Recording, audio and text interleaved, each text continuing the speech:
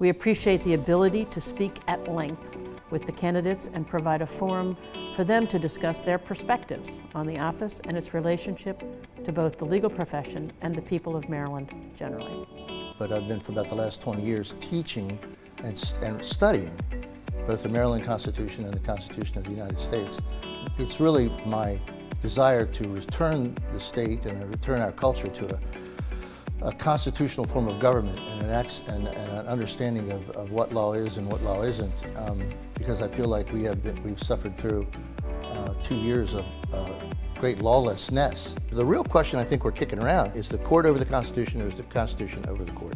That's, the, that's really what, what we're asking.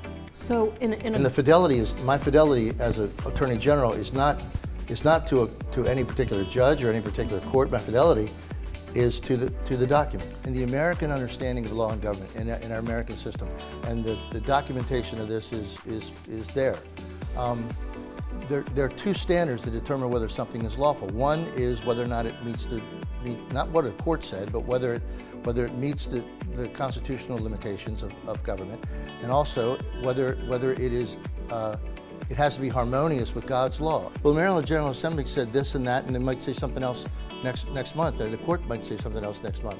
The idea that law evolves, like you're suggesting, is like is like a, a Darwinian view of the law. The other, but I don't think our founders had that. I don't think America is founded on that understanding. That understanding is that law law is fixed and, and there, is, there is an absolute truth. That's why you can say things like all men are created equal and they're endowed by their creator with, with rights. And it's the job of government to secure these rights, governments are instituted among men. That's why you can say that because there is a standard.